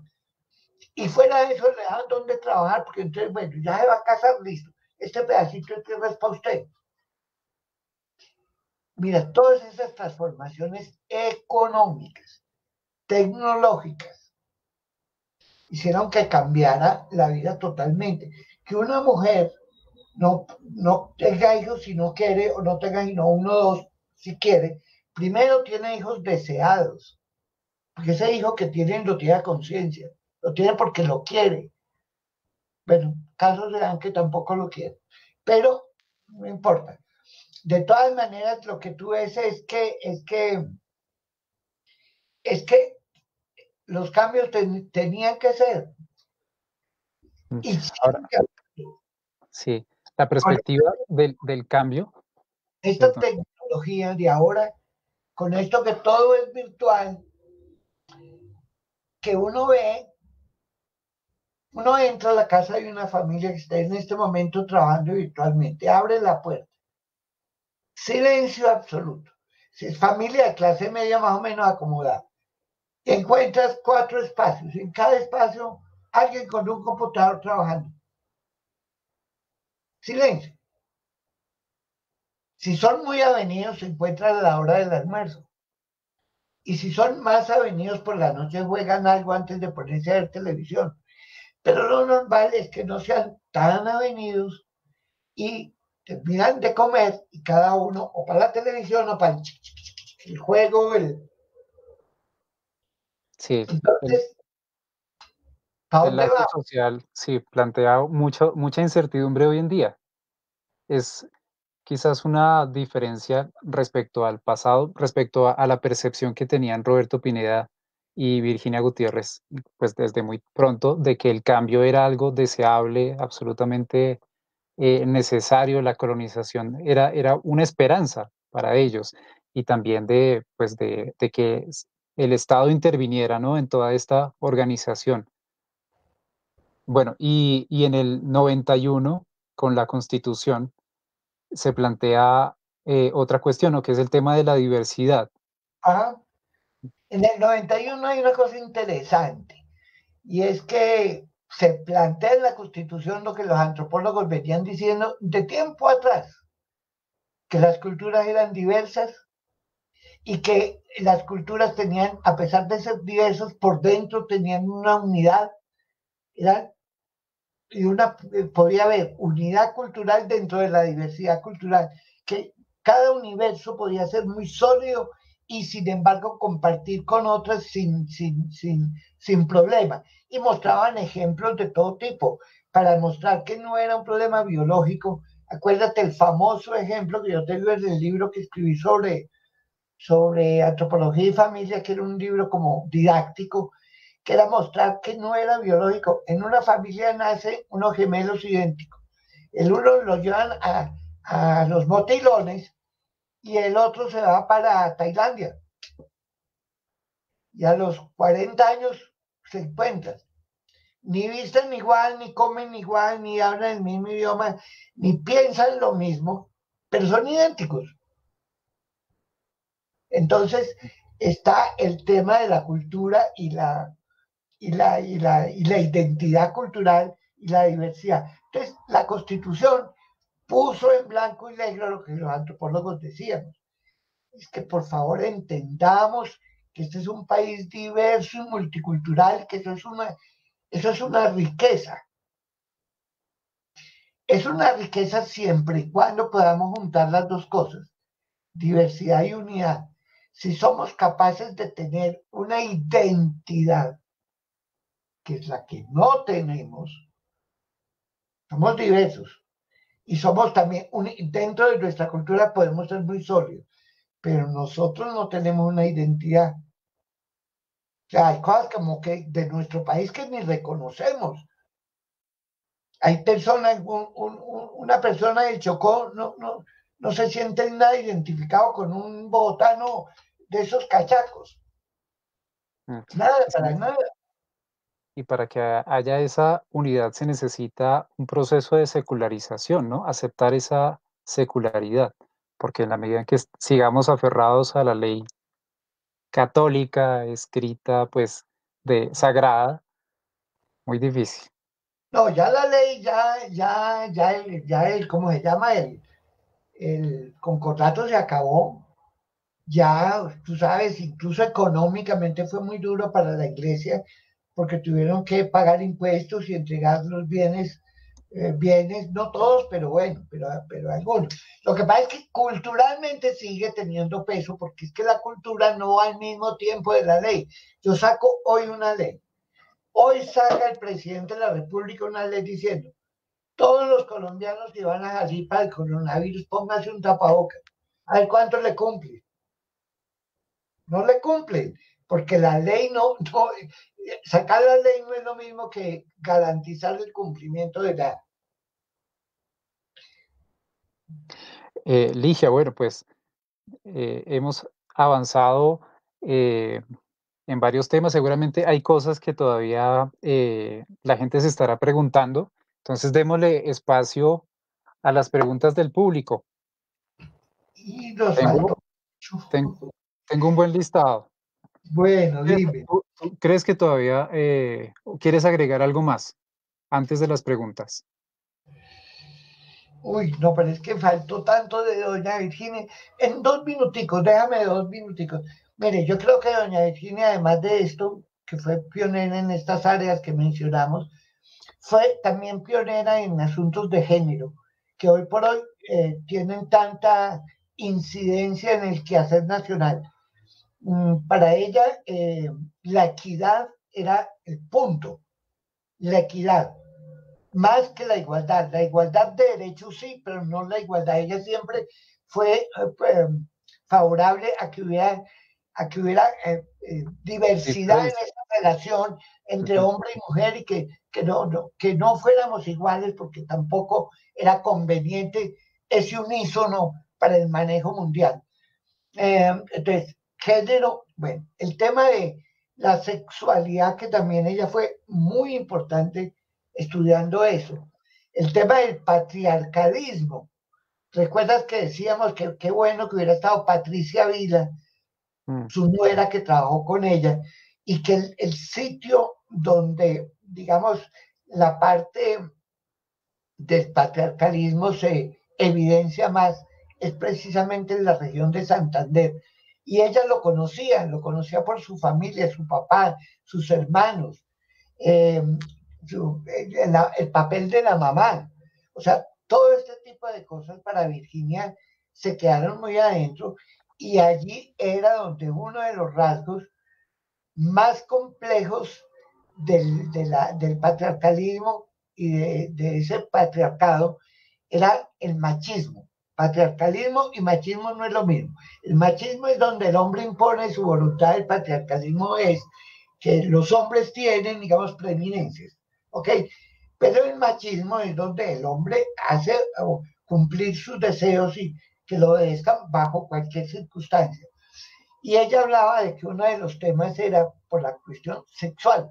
El honor, el honor de la familia está bastante representado en el sexo. Es decir, que una hija de alguien, que un muchacho tocara a una niña por fuera de las normas vigentes en cualquier momento, porque las normas han sido diferentes, pero que la tocara era motivo de perfectamente una lucha, pero a muerte, física inclusive, que ahí se justificaba hasta la violencia física, que es un poco lo que dicen del machismo del charro mexicano, ¿cierto? Es decir, patriarcalismo es, el, la preeminencia del hombre que pues es bastante generalizado en el universo, digo yo. Eh, el matriarcalismo hay regiones y hay otros matizaditos, pero el patriarcalismo está en el mundo, no hay nada que hacer. Eh, o si hay, habrá mucho que hacer, pero no se ha hecho, es lo que quiero decir. Eh, entonces, esos temas también son importantes. Y ella al final quiso hacer un trabajo glorioso con Roberto, que fue la miscigenación. En Colombia siempre hablamos del mestizaje y nos referimos a la, a la, a la mezcla entre, entre etnias. Pero ocurre que en, el, en la miscigenación es entre etnias y culturas. Cómo, cómo, cómo se solapan la religión con, con la religión africana, no hablamos de, los, de ese aporte importantísimo eh, cultural que fueron los negros eh, traídos de África y el aporte a la familia, eh, esa libertad más amplia que no fue porque ellos la buscaran, sino porque a ellos no los dejaban casarse entre ellos, pero les, les parecía muy bien que se multiplicaran porque era mano de obra barata. Entonces incentivaban la unión libre, después viene la religión y no qué pecado, pero unos incentivaban y otros lo prohibían. ¿Ok? Bueno, esas mezclas étnicas que también las trabajaron Roberto y Virginia mucho. Bueno, y termino porque yo no tengo más, mejor dicho, todo, todo se me ocurre. Y Roberto con, con su política de vivienda espectacular a nivel de América Latina. Sí, de pronto ahorita podemos repasar también las obras, las publicaciones después de Familia y Cultura en Colombia, sí, para que las, la gente las tenga más claras. En el 73, tradicionalismo y familia, trasfondo familiar del menor con problemas civiles, ¿no? Que es un problema... Se me acaba de terminar un trabajo, no, puedo dejar de mencionarlo, porque este fue financiado por el Instituto Colombiano de Bienestar Familiar. Trabajaron cinco antropólogas muy buenas, eh, Patricia Ávila también, eh, unas niñas de los Andes, hasta mi hermana Yolanda Echeverri estuvo allí, se llama El Gamín, su albergue, familia, y tiene dos tomos, y muestra el problema del gamín en Colombia. Fíjate qué interesante se hace este trabajo que apoyó mucho el, padre Nicolás de Nicoló, Nicoló, padre Nicoló, y ya se acabaron los gamines, ya no hay gamines. Entonces, analiza todos esos cambios y transformaciones. Sí, está también pues el estatus femenino y estrato social en Colombia, trabajo femenino y familia, la familia en Cartagena de Indias, honor, familia y sociedad en la estructura patriarcal, el caso de Santander que mencionabas ahorita con Patricia Vila. Código de honor y la estructura patriarcal, los complejos culturales regionales, en fin. Y bueno, también eh, resaltar un poquito tus trabajos porque eh, familia de hecho tiene también un, un, preámbulo, ¿no? Que es la familia ante la ley, ¿cierto? La familia de hecho pues es un trabajo impresionante, es gigantesco, sí, como tanto a nivel metodológico porque pues fue un grupo grande, ¿no? Para, para poder abordar todas, todas estas regiones. no, seguir la misma metodología de Notre Dame, pero yo no era Notre Dame, pero gracias a conciencia. Eso lo pagó conciencia. Bueno, los temas de familia y vejez también, que no es solamente la cuestión de la infancia. Eh, y bueno, entonces sí, ahora sí démosle el espacio a, al público. A ver, Hernán Alberto Pimienta nos saluda desde el Museo Universitario de la Universidad de Antioquia. Un saludo para Hernando Alberto. María Teresa Herrán, te ah, envía saludos. Ligia fue mi jefa en la central y la admiro mucho, lo mismo que a Virginia Gutiérrez. Ramiro Delgado Salazar, muy valioso el relato de doña Ligia sobre antropología, antropólogas mujeres y poder así como la cartografía antropológica que hacen los pioneros y pioneras de la disciplina. Ah, muchas gracias por, su comentario, Ramiro, eh, sobre la serie. Andrés Nanclares, ilustrativa para conocer los orígenes de las ciencias sociales en Colombia. Ah, muchas gracias. Excelente la, la expositora. Gracias también. Eh, Yolima Devi Acosta, qué espacio tan maravilloso. Y estas son las preguntas. A ver, Ramiro Delgado, ¿tendrá la miniserie un, capítulo sobre doña Alicia Duzán de Raigel más allá de esta fecha para la, para la maestra? Sí, estamos aquí eh, dando este espacio también para hablar de las antropólogas y por supuesto, eh, pues hay que mencionarlo, doña Alicia Duzán eh, cumple 100 años, es la decana de la antropología el próximo 16 de octubre y por supuesto el ICANN eh, se va a unir al homenaje que pues seguramente muchas instituciones eh, van a realizar y por supuesto dentro del programa hemos contemplado también eh, abrir ese espacio y, pues hemos tenido también la respuesta favorable de las directivas, quienes nos van a acompañar también. Va a ser un programa especial como homenaje. Y sí, de todos modos va a ser, va a ser el cierre de esta serie ya que ya estamos llegando, ya estamos culminando, ya nos queda el próximo capítulo y el homenaje a doña Alicia. Eh, Oscar Julián López, doña Virginia, maestra y profesora, colega, será posible abordar la inclusión-exclusión, hablando de los derechos como lo son trabajo, estudio, salud, etcétera, haciendo referencia a Colombia y sobre todo Bucaramanga, tal vez algo más sobre el tema de la inclusión y la exclusión eh, en cuestión de derechos de trabajo, salud, educación. No, ese fue un tema permanente de, Virginia, porque ella además fue una de las que incentivó, es que es, que es imposible en, dos horas hacer una vida. Eh, Virginia Gutiérrez incentivó una institución que se llama Ciudadanas de Colombia, porque ustedes no lo recuerdan, pero aquí las mujeres no tenían acceso al voto y lo tuvieron en el año 57 por primera vez. Tenían derecho a elegir, pero no a ser elegidas. Entonces, a raíz de eso, unas preclaras abogadas, dos o tres que estaban en el Congreso, más personajes de las ciencias como Virginia Gutiérrez de Pineda, incentivaron y fueron conformando una unión de ciudadanas de Colombia para promover los derechos de la mujer, los derechos a, ser elegidas también, los derechos a tomar decisiones, los derechos a, a tener cargos de poder, a poder estudiar. Es que incluso te cuento que hubo épocas en Colombia en que las mujeres no podían entrar a la universidad. Y cuando entraron a la universidad las recibían en carreras que se llamaban femeninas. Enfermería, bacteriología, no sé, y bueno, no, en, la, normal recibían las maestras.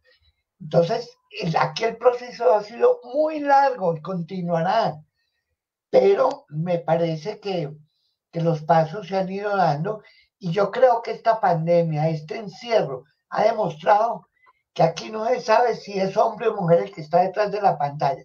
La cosa es que sea eficiente la cosa es que pueda rendir. Entonces, yo no veo por qué va a ser diferente uno que otro.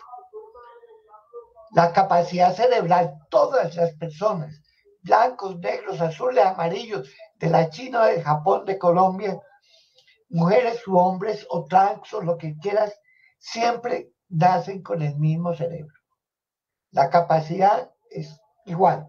Luego hay que darles la oportunidad.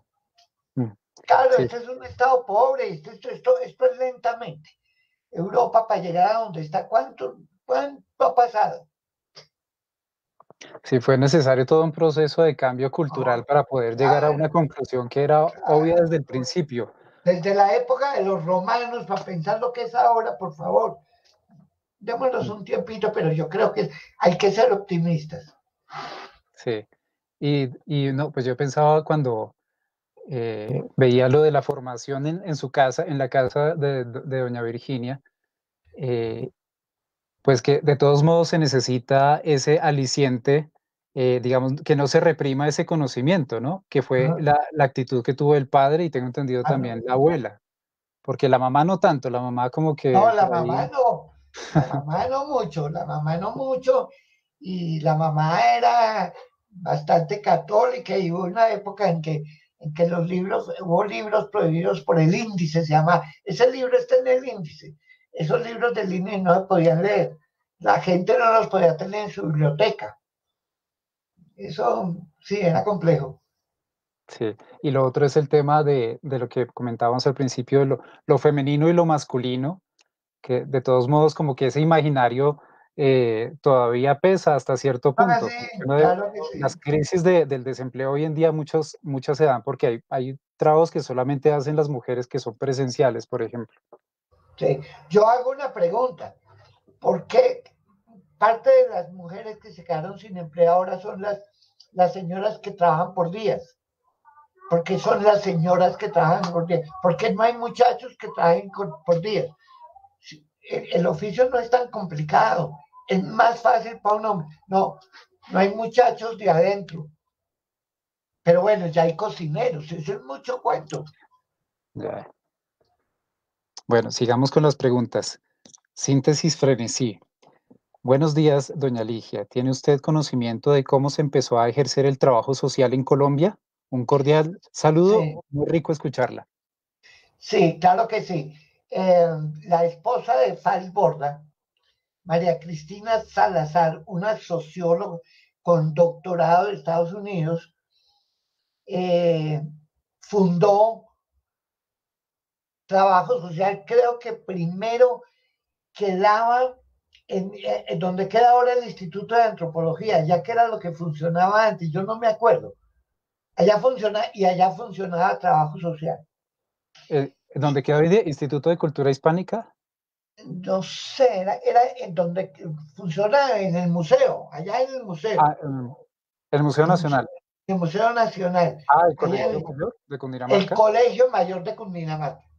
Sí. María Cristina Salazar, socióloga, que luego, eh, cuando, cuando Orlando ya había fundado la facultad, se casó con Orlando, entonces la, la trajo con nivel universitario, ya tenía nivel universitario, la trajo a la Universidad Nacional y ahí fue donde se formó una escuela que realmente es gente que yo diría que está muy tocada por la obra de Virginia Gutiérrez de Pineda y que la han entendido en muchos casos mejor que muchos sociólogos y antropólogos.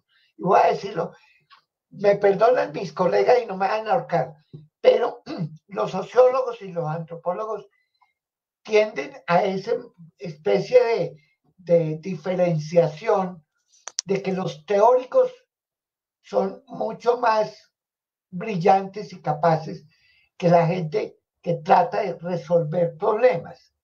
Entonces, estos temas que hemos trabajado son temas para resolver problemas, no para hacer teorías antropológicas, teorías sociológicas teorías del desarrollo humano, no. Las, los trabajadores sociales, como su nombre lo indica, van a trabajar. Ellas han oído muy bien el mensaje de Virginia, el mensaje de Roberto, el mensaje, todos los mensajes, los de salud, porque esa es la tarea de ellos, volver todas esas teorías, volver todos esos estudios en acciones, en acciones. Luego imagínate la ventaja cuando trabaja María Cristina con FALS, porque hacen el, es el hueto para hacer la acción, el, método de, de FALS que lo hace tan famoso, la investigación-acción, es precisamente porque unen dos pensamientos sociológicos que no deben estar separados. Estos no deben hacer teoría y estos no deben hacer acción. Debe ser un proceso y si no que nos lo digan los, los expertos y técnicos de la tecnología moderna. Se aprende haciendo y se hace aprendiendo. Bueno, vamos con otro comentario, pregunta. Eh, María Josefina González. Ah, sí. Un abrazo a mi querida profesora Ligia.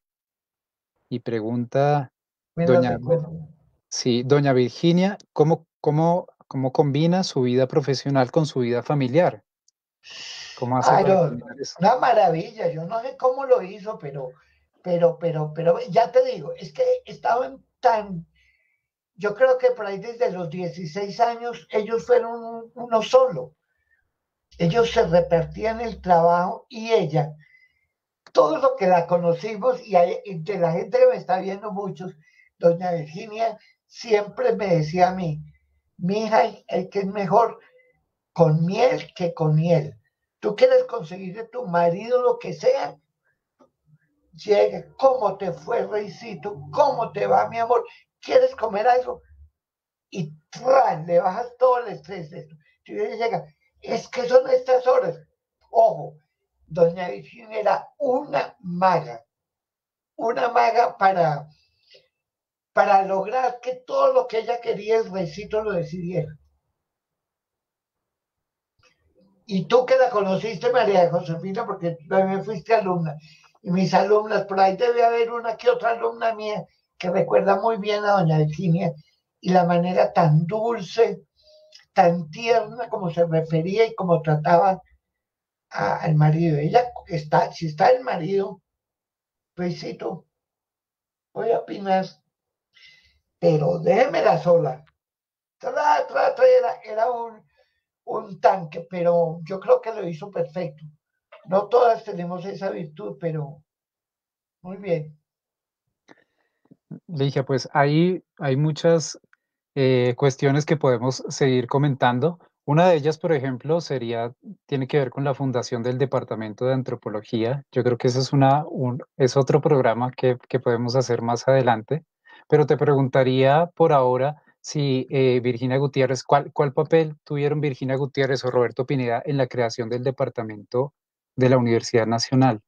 Total, pues porque ellos apenas se creó, ellos ya eran de ahí, ¿cómo se llama? Roberto era de cátedra porque trabajaba en el instituto y después porque fue el director en la OEA del, del Centro Interamericano de Vivienda y Planeamiento Urbano, eh, pero doña Virginia, de, al principio de tiempo completo, eh, en esa época no existía todavía conciencia. Entonces, pues, a ella la, la, contrataban como investigadora. Ella dictaba un grupo, unas clases muy poquitas a un selecto grupo, pues porque tanto, eh, ¿cómo se llama? Tanto Luis Duque Gómez, director de antropología entonces, como, mm, como Fals, que era el, decano de, sociología, ellos dos siempre vieron que que, Virginia era una gran investigadora, entonces que no podía dedicarla a dictar clases que, al, principio en un pregrado no son. Ellos estuvieron muy presentes en los posgrados.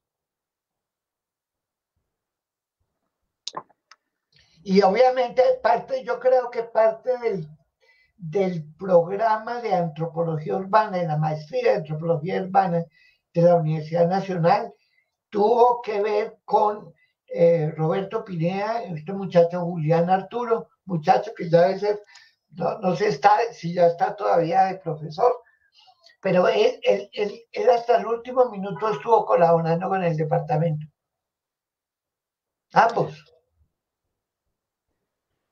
Dije, pues, eh, cerremos con este comentario de Ramiro Delgado Salazar. Dice él, qué exquisitez las rutas metodológicas que teje doña Ligia en clave de doña Virginia y las complejidades de investigar y la necesidad de reaprender, que es ir a campo, básico para ver eh, hoy la antropología. Ay, muchas gracias, Ramiro. Eh, Ligia, pues de verdad que eh, pues, me siento muy, muy agradecido con, con tu presencia, que que nos hayas compartido pues también este espacio eh, de tu tiempo eh, y pues ojalá que pues me sigas la caña y hagamos el programa también sobre el Departamento de Antropología de la Nacional. Estamos hablando, estamos hablando, corazón. Yo, yo, yo, yo te decía, yo no soy muy experta en manejo de estos medios y siempre no sé ni dónde mirar, no sé, no sé, tengo el problema yo que soy muy expresiva y me gusta caminar cuando hablo, entonces a veces estoy, me siento, pero, pero yo creo que respondimos lo básico. La otro es que creo que les dimos, los dejamos con el gusanillo de que lean la obra. Sí, sí, de verdad que es una obra impresionante. Yo voy todavía en la parte de La Guajira y estoy, ya tuve hasta, hasta sueños sobre el asunto porque sí, eh, ayuda a clarificar mucho tanto lo que hacen los antropólogos, eh, la vigencia, eh, los problemas que son actuales, que siguen, siguen siendo muy, muy, muy actuales, muy pertinentes, y también como de plantearse uno cuál es el punto de vista en, en que uno está parado, pues frente a toda esta diversidad, pues que nos afecta, porque como decía al principio, pues nos toca convivir de todos modos, tenemos que hacer algo con el lazo social, ¿cierto? Sí, señor. Entonces, bueno, pues muchísimas gracias también eh, a las personas que nos han acompañado con los comentarios y las preguntas. Eh, para el próximo programa, que va a ser el, noveno y va a ser como una especie de, síntesis también sobre lo que ha sido eh, la historia de la antropología y la historia de las ciencias sociales. Ya hemos estado hablando con el profesor Renan Silva, que nos va a acompañar en 15 días. Entonces, eh, pues tendremos la oportunidad como de, recapitular muchas cosas y de hacer un pequeño balance, aunque sabemos que no es completamente no hemos abarcado absolutamente todos los temas, pero pues esperamos que podamos seguir eh, continuando, eh, pues, que podamos eh, ampliar, digamos, unas otras temporadas varias de palabra, imagen y memoria. Entonces, muchas gracias también al área de divulgación del ICANN, a Eleider Parra, que nos acompaña en la transmisión en este momento y con el diseño, a Sergio Maldonado y Diana Daza en las redes sociales, al equipo de la biblioteca especializada, Marcela Hidárraga, un saludo especial a todas las personas que nos acompañaron con su atención, sus preguntas y sus comentarios. Una feliz semana y pues nos estamos viendo en 15 días. Muchas gracias a todos. Muchas gracias.